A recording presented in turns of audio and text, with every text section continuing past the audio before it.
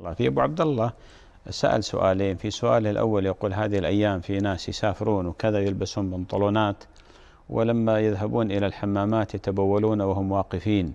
يقول ما حكم ذلك؟ أبو عبد الله بارك الله فيك هذه مسألة آه، معروفة عند أهل العلم وهي مسألة حكم التبول واقفا بالنسبة للذكور آه، هل يجوز أم لا؟ من أهل العلم من ذهب إلى منع التبول. واقفا مطلقا ويستدلون لذلك بحديث أم المؤمنين عائشة رضي الله عنها أنها قالت من حدثكم أن النبي صلى الله عليه وسلم بال واقفا فقد كذب. ومعنى كذب يعني أخطأ في لغة أهل الحجاز. وهناك من أهل العلم من يذهب إلى جواز إلى جواز تبول الذكر واقفا مطلقا ويستدلون لذلك بحديث حذيفة بن اليمان. أنه كان مع النبي صلى الله عليه وسلم وأتى سباطة قوم يعني مجمع نفايات في الشارع في في الصحراء. أتى سباطة قوم فبال واقفا صلى الله عليه وسلم. وهناك من أهل العلم من توسط وذهب إلى أن التبول يكون جالسا. يعني بالنسبة لمن أراد أن يتبول يكون قاعدا لأن هذه هي هذا هو هدي النبي عليه الصلاة والسلام في قضاء الحاجة. وأما إذا احتاج إلى التبول واقفا قالوا يجوز لمرض مثلا. بعض الناس قد يكون عنده مشاكل في الركبة. حتى ذكروا بأن النبي عليه الصلاة والسلام كان لديه مشكلة في باطن ركبته من الخلف ما استطاع يجلس لقضاء الحاجة صلى الله عليه وسلم. فقالوا بأنه يجوز للحاجة ويكره لغير الحاجة يكره لغير الحاجة.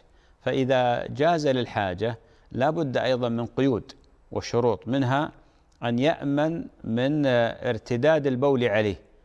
فالبول نجس بالإجماع. ولذلك إذا أمن الذي احتاج إلى البول واقفا من ارتداد البول جاز ذلك. الشرط الثاني أن يأمن من عدم رؤية عورته.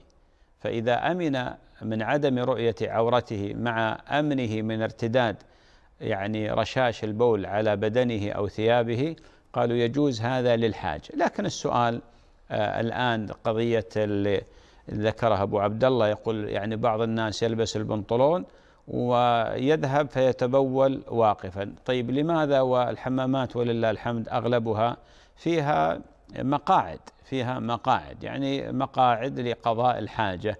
فلذلك يا أبو عبد الله بارك الله فيك الأصل أن الإنسان يتبول قاعدا ولا يتبول واقفا إلا إذا احتاج إلى ذلك كما ذكرت وهو جمع بين الأحاديث. لأن عائشة رضي الله عنها لما نفت أن النبي عليه الصلاة والسلام بال قائما نفت بحسب علمها أنه ما كان يبول في البيت قائم. فدل على أنه كان دائما يقضي حاجته وهو قاعد حذيفة بن اليمان ذكر حالة ما ما اطلعت عليها عائشة رضي الله عنها وأنه كان يتبول واقفا لكن هذا ليست له عادة. ما كانت له عادة رضي عليه, عليه الصلاة والسلام. إنما رواها حذيفة رضي الله عنه في حالة حالة واحدة فدل على أن الحاجة إذا كانت موجودة عند الشخص يجوز بالشروط التي ذكرت بارك الله فيك.